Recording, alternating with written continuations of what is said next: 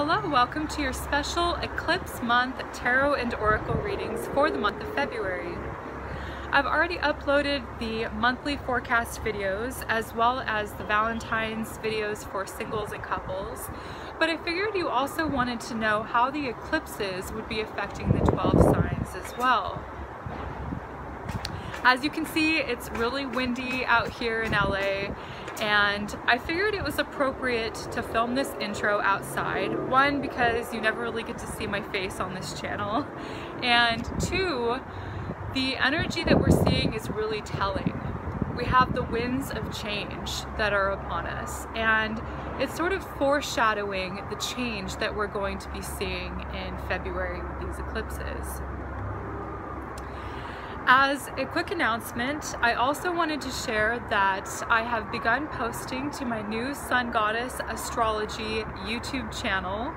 So if you're interested in astrology or interested in learning about astrology, you may want to check out some of the videos that I've been creating. I start out at a very basic beginner's level and I intend on posting some more intermediate and advanced videos later on. I'll go ahead and put a link to that channel in the description box below.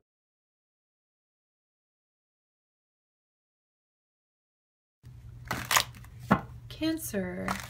For your Eclipse Tarot reading, I will be pulling six cards from the Rider-Waite Tarot deck.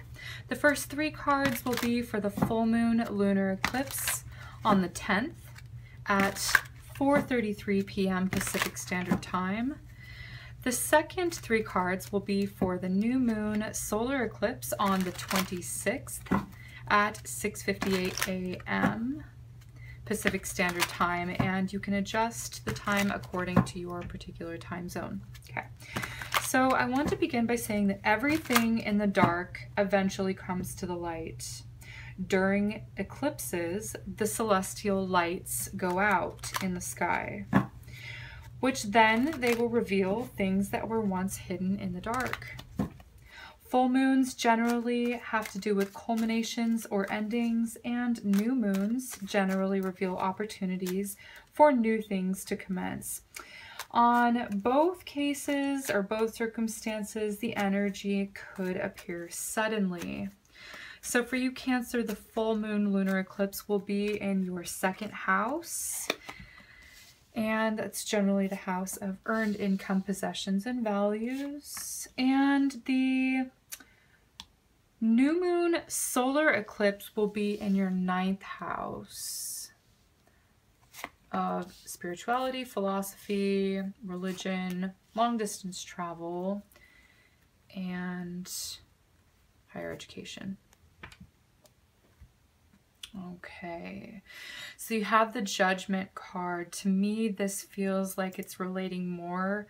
So for the full moon lunar eclipse in your second house,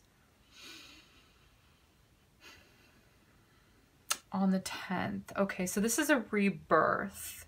Something is coming to the surface. When I was talking about things coming to the light, judgment is about seeing the light here okay? I actually feel like it's it's relating to both the solar eclipse and the lunar eclipse equally. So it's going, both of them are going to be equally impactful. And another detail that I'm seeing with this card is it's card 20, uh, yes, it is card 20. So you have the two tens, which means a culmination and a culmination. So culmination times two, right? Both of them will be equally impactful and it could be a very renewing time for you as well. All right, so this is good energy for the full moon lunar eclipse. You have the Knight of Pentacles, which is something that's being offered to you. Generally, it has to do with money, okay? I feel like some of you might want to watch the Aries videos because I believe that these two cards came up for Aries as well. Okay, so there could be some sort of similarity Okay, maybe a lot of you have Aries in your chart as well. Okay, anyways, the Knight of Pentacles is something that's being offered to you. Generally, it's like, you know, something solid. It's something physical. It generally represents money, but it could be a gift of some sort. It's a tangible gift. It's also about like steady progress forward, sudden progress forward. Could be like a jolt of energy that sort of pushes you forward. This isn't a fast moving energy though. So I'm seeing it sort of like you jump forward two steps and then you're sort of being presented with something here. With the Page of Wands is some sort of, you know, offer. This could be a conversation. It's news that's coming in to you, okay? And it looks like it's positive news. Something additionally that's being added to what you already have going on here, okay? It feels like an opportunity to me Okay. Maybe that sudden energy sort of shakes you and you're trying to sort of maintain your footing because the juggler, he's sort of got one foot up in the air and one foot on the ground. So he's trying to sort of, you know, regain his balance.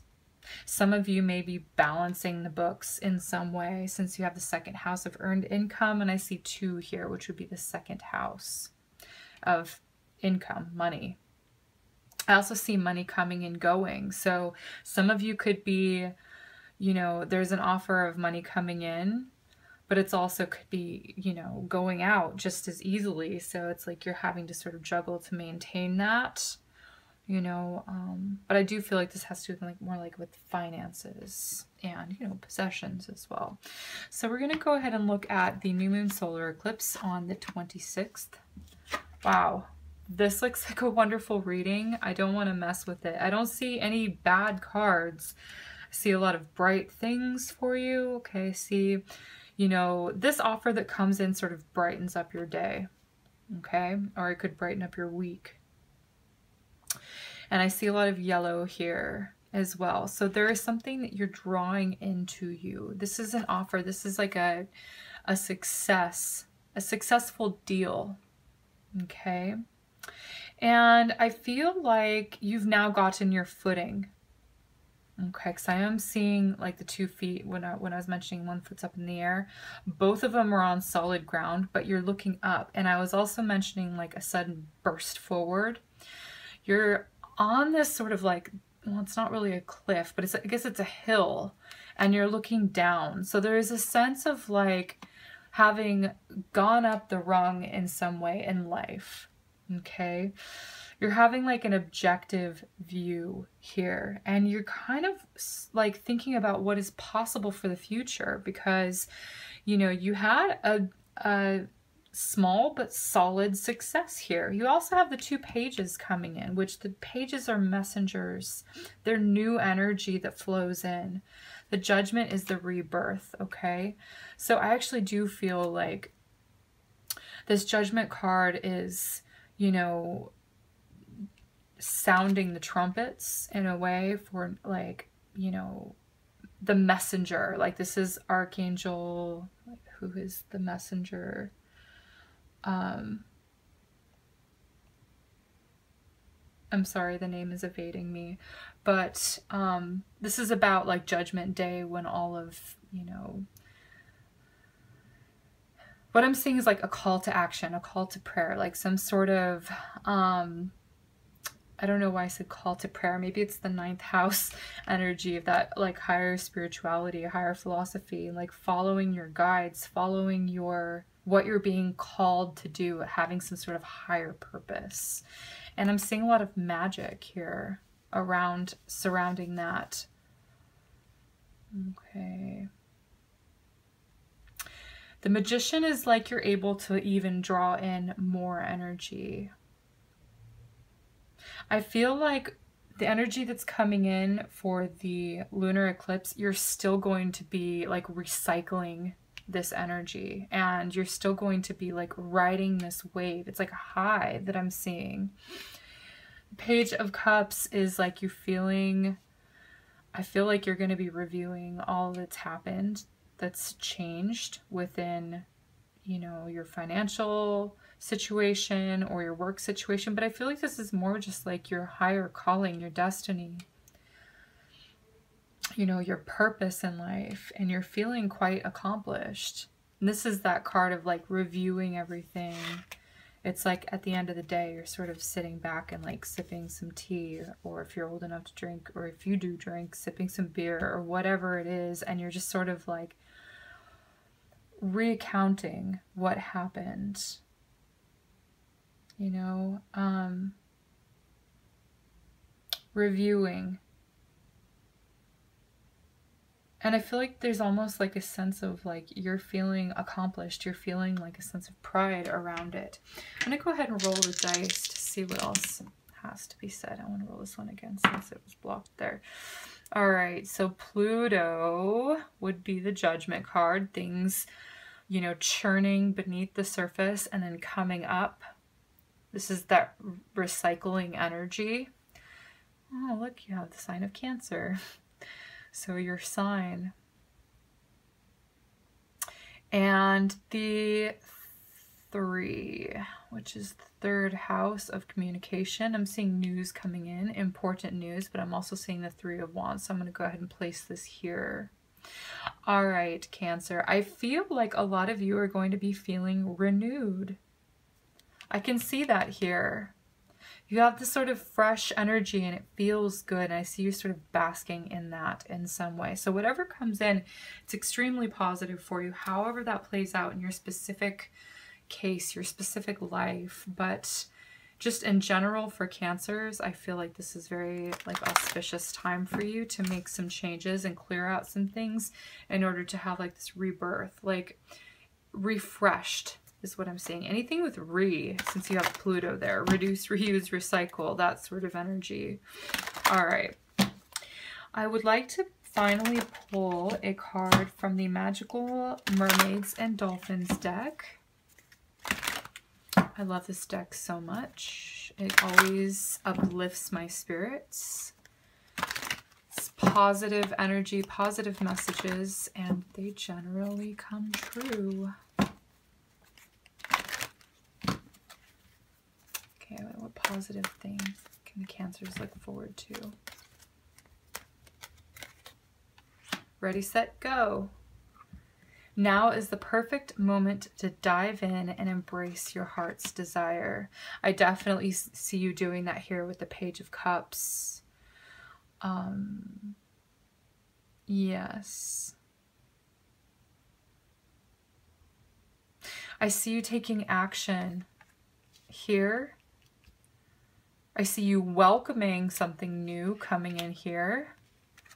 And again, you sort of riding that wave is sort of what I was saying with that um, lunar eclipse energy that comes and sort of shakes things up. And then it's like you're sort of riding this high in a sense and you're moving forward. In this case, she's like riding what, an orca whale, but she's also sort of diving down deep into this water. Here I see that cup you know, cup holding water. It's your dreams. And I do feel like the lunar eclipse is going to be a little bit more impactful because if you can see here in the um, Two of Pentacles card, this tide kind of coming highs and lows and it's like sort of you know, lunar, the moon energy pulls big bodies of water, right? So it sort of shakes things up, especially on an emotional level. And you're sort of riding that wave of highs and lows and sort of being tossed around maybe by your emotions. And it feels like it's good things, it's exciting things, but it feels like, you know, with the second, you know, or I guess the fourth week of the month of February, things are sort of settling. The dust is sort of settling and things are sort of getting a little bit more smoothed out here.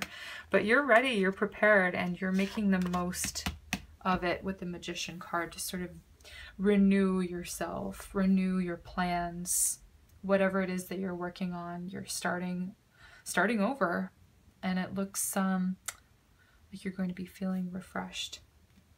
Wonderful.